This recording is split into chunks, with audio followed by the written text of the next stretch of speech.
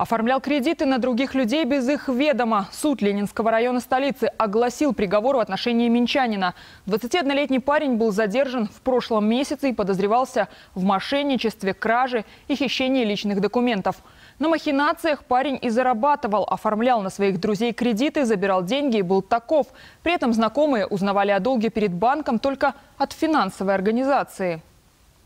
Известно о двух десятках таких эпизодов. Сумма ущерба более 16 тысяч рублей. Наша съемочная группа также присутствовала в зале суда. Все подробности в следующем материале.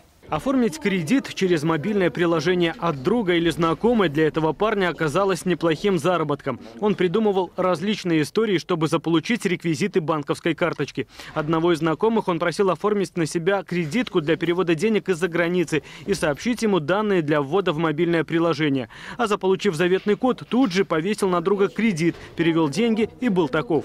Помимо этого, обвиняемый под различными предлогами, а, будь то на развитие бизнеса, либо покупку техники, либо ремонт автомобиля своего, неоднократно брал в долг деньги у своих знакомых, заранее не намереваясь э, исполнять принятые на себя обязательства.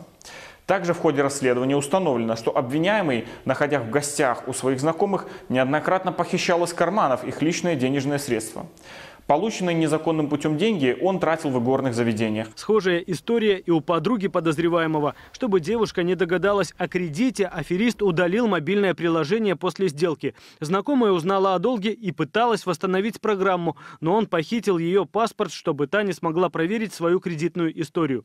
Многие, уже бывшие друзья, узнавали о долге перед банком от колл-центра финансовой организации. Но, как правило, к этому моменту их деньги уже были проиграны в казино или игральных автоматах автоматах. В итоге следователи возбудили ряд уголовных дел за кражу, мошенничество, хищение путем использования компьютерной техники, а также хищение паспорта. Согласно только что оглашенной резолютивной части приговора Рябцеву назначено наказание по совокупности преступлений, предусмотренных частью 3 и частью 2 статьи 209, частью 2 статьи 205, частью 2 статьи 212 и статьей 378 окончательное наказание в виде лишения свободы на срок 4 года с отбыванием в исправительной колонии в условиях усиленного режима без конфискации имущества. По данным следствия, общая сумма ущерба составила свыше 16 тысяч рублей. Сейчас у сторон есть 10 дней, чтобы обжаловать приговор. Отмечу, что подсудимый и ранее привлекался к уголовной ответственности. Александр Смирнов, Владимир Королев и Дарья Бабок. Зона X.